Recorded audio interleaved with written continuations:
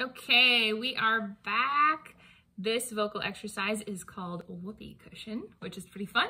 The words are, someone put a whoopee cushion on my teacher's chair. She didn't see it there.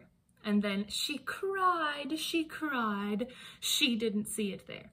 Um, two things you want to look out for in this exercise are having very clear consonants or clear diction, right? Someone put a whoopee cushion on my teacher's chair. She didn't see it there. She cried, she cried. She didn't see it there. The next thing you want to watch out for is on the word cried. Make sure it's not cried, but cried. You make a lot of space, kind of like you're yawning. If you yawn as a singer, that's a good sign that everything's relaxed. Okay, let's try it.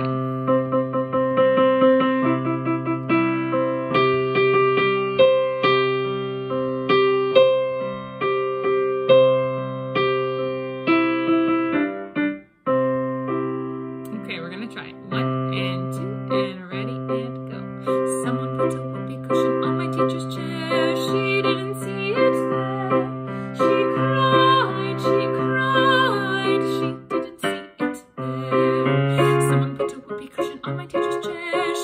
Didn't see it there. She cried, she cried. She didn't see it there. Faster. Someone put on my teacher's chair. She didn't see it there. She cried, she cried. She didn't see it there. One challenge I did not mention is that you have to do this straight faced. No laughing, no giggling, no smiling. One, two, ready, go. Someone put a whoopee cushion on my teacher's chair. She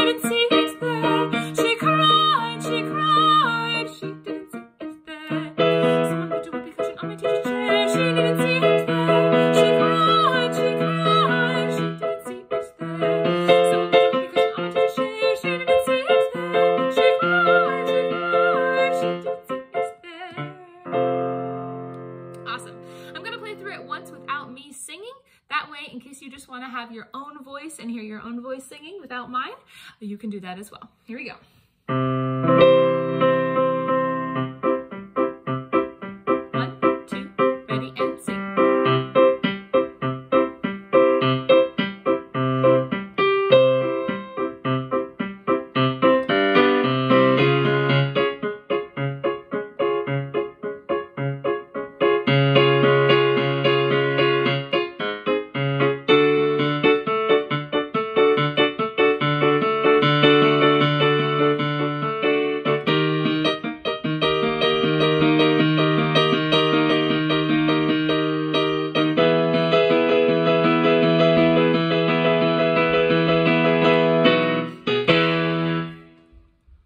Singing.